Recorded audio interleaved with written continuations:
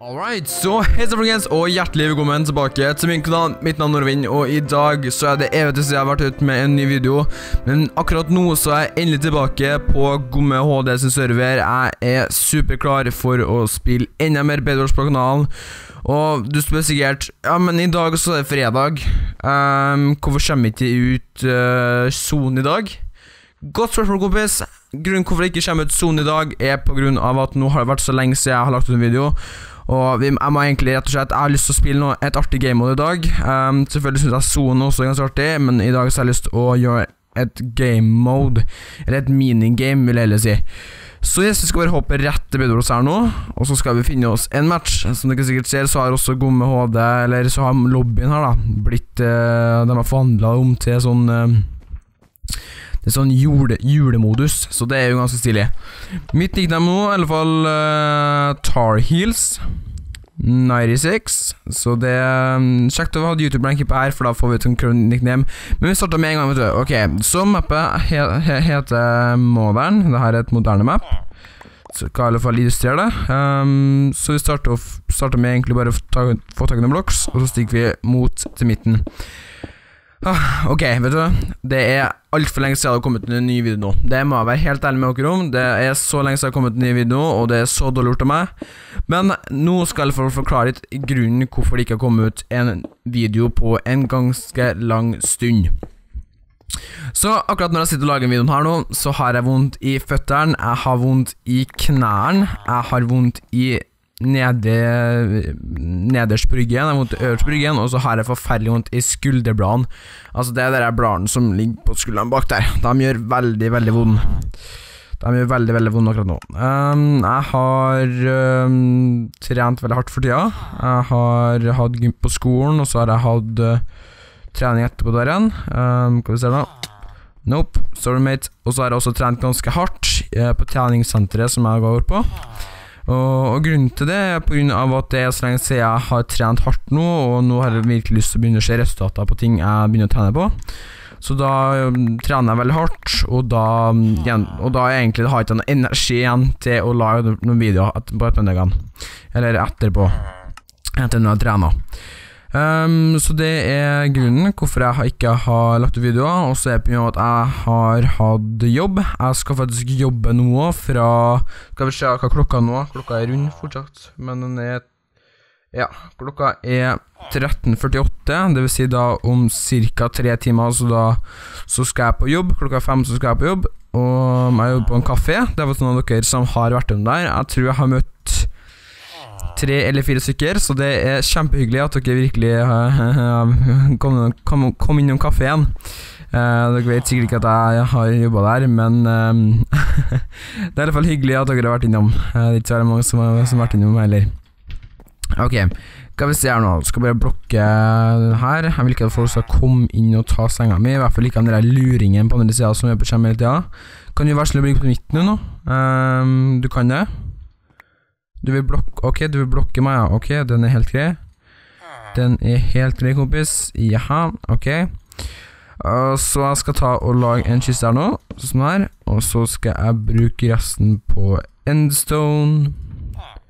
Jeg skal, jeg skal prøve å um, forhindre at den her kommer inn hit. Og det var grønn. Um, nå skal jeg komme bort til den her, for nå ser jeg at nå så han meg. Ok, han meg i alle fall. Det er Jeg ikke om det er bra eller dårlig. Nå Vet du, det jeg kan gjøre nå, det jeg kan gjøre nå Jeg kan forhindre at den kommer. Ikke si at den jeg fikk tak i bua. Ikke ta fram en bue. Ikke ta fram buen nå, kompis. Ikke gjør det. Ok. Selvfølgelig! Åh, vet du, ok. det som også er en liten sak òg, det er faktisk at um, Recordingsprogrammet jeg bruker nå, eh, heter DX-Story. Og Skal vi se, nå kommer den luringen, vet du. Skal vi se. Sånn, der kom den iallfall. Så jeg bruker Normalt så bruker jeg action, Mirrorless action til å filme inn jammene. Ok, ok, jeg skal si kort. Jeg skal si kort.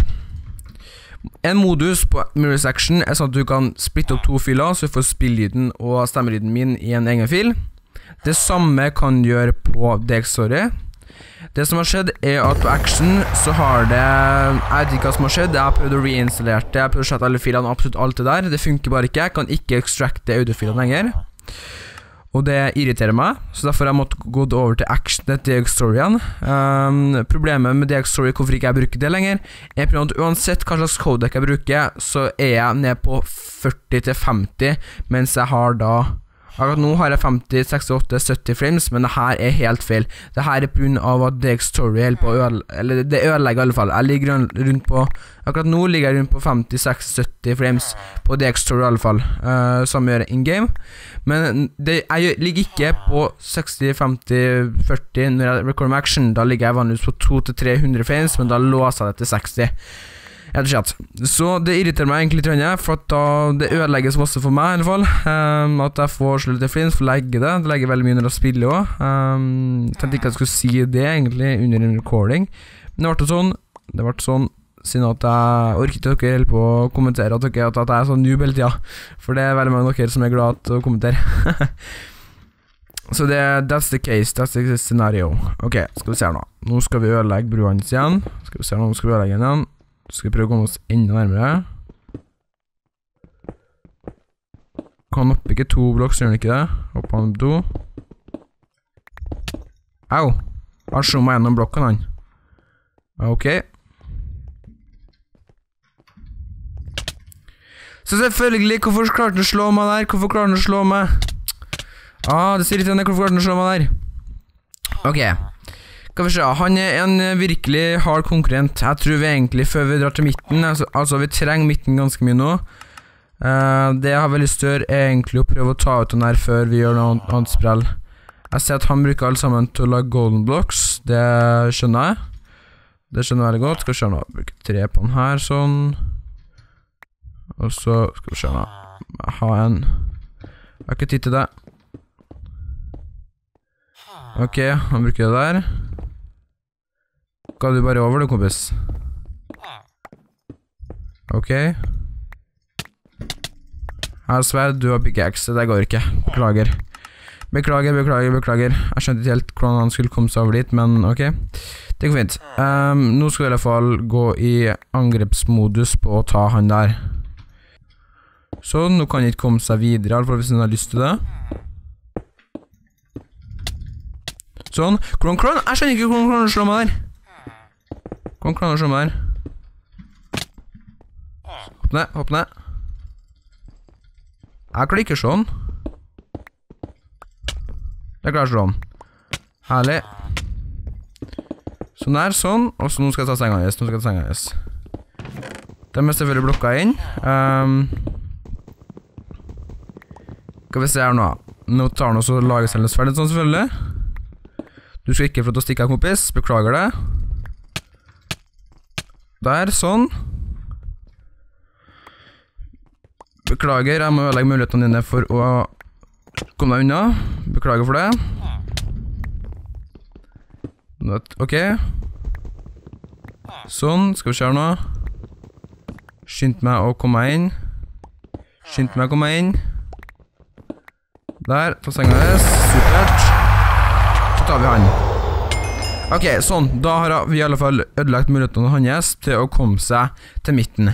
Supert. Nå Han tulla egentlig med person, for nå tar jeg han. Så det er jo også ganske fint for meg, for min del. Det er ganske fint. Nå er jeg happy igjen. Nå er jeg happy igjen. Herlig. Ok, skal vi se. Hvilket lag er vi egentlig? Jo, vi er pink. Ok. Ok, så vi er det rosa laget. Vi er det rosa laget. Ok, det går fint. Det går veldig fint. Ok, vi kom oss i hvert fall til midten først. Det er supert. Eller ikke først, men vi kom oss i hvert fall til midten, og her var det tonnevis av gull. Herlig. Så da tror jeg egentlig vi bare stikker rett hjem igjen, for at jeg vil ikke dø. Jeg vil ikke dø, så overhodet ikke. Jeg ønsker virkelig ikke dø nå, altså. Det som også er en ting som er ganske bra med action, det er at den har en timer, så jeg kan se hvor lenge jeg har recorda. Det har ikke Dex Story. Så overalt i alt så syns jeg action er et mye bedre programvare enn uh, uh, Degstory. Ok, skal vi se nå. Jeg lyst til å lage Jeg trenger ikke punch, jeg kan bare lage den her. Uh, her. Det gir samme funksjon. Og så har jeg vel lyst på beste sverdet. Ja, jeg vet at du skyter meg. Jeg vet at du skyter meg. Hvor skyter du fra nå? Du skyter derifra, vet du. Ok. Skal vi se nå, skal vi se da. Hvem treffer først? Jeg traff den en gang. Skal vi se om treffer den flere ganger. To ganger. Klarer vi å drepe noe, så flirer jeg. Nei, det gjør vi ikke. Vi klarer ikke å ta den. Vi klarer ikke å ta den. Ok, så vi setter opp litt mer kiste her nå. Vi trenger en kiste til, så vi setter opp bare her. Litt smålig. Tar inn enkelte diverse ting òg, hos meg her. Og så du, du, du, du, må vi også lage oss Au! Vet du, slutt da, kompis. Slutt, da. Det er jeg som traff deg, du treffer ikke meg. Skal vi se nå, sånn, der, og så må vi lage oss blululum, noe som heter Rescue Platform. Vi trenger også en del blocks til. Trenger vi, sånn som her, og så trenger vi også en pickaxe. Pickaxe er veldig viktig å ha. Sånn som her, og da kan vi prøve å ta den der ut. Oh, shit, shit, shit, shit, shit. Ok. Nå skal vi i hvert prøve å ta den. Vi skal i hvert prøve å ta den der kisen her nå. Vi springer til midten nå. Vi springer til midten. Han valgte å ikke skyte meg ut? Ok, da tar vi alle for land. Supert. Det er veldig bra. Hvilken base er det han har?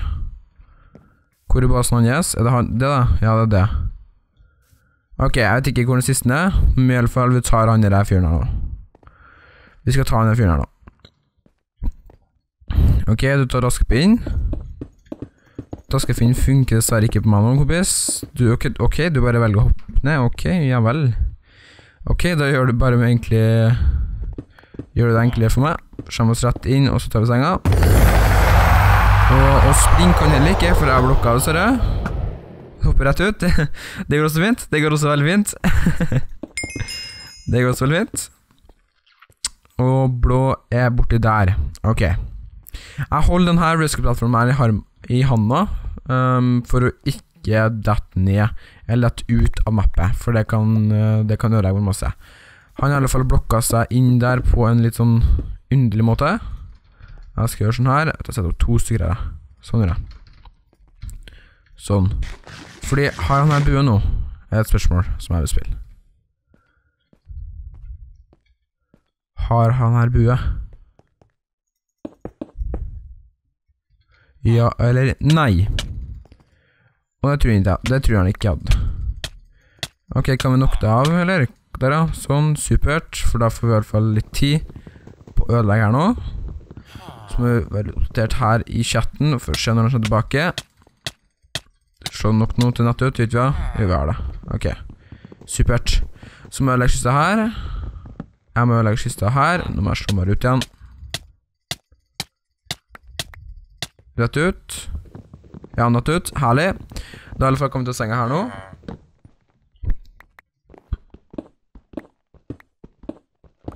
Og da tok vi den. Da tok senga, og vi tok han. Vi tok han.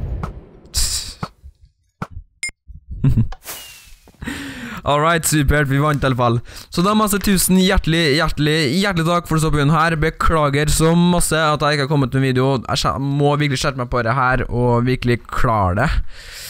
Jeg vet ikke hva jeg skal gjøre, men på en eller annen måte så må jeg virkelig begynne å klare det. Dette er sløvt av meg. Så tusen takk for, nok en gang for at du så på videoen min. Jeg, vet du, jeg setter så stor pris på at dere ser på videoene mine, uansett når jeg legger ut eller ikke legger ut.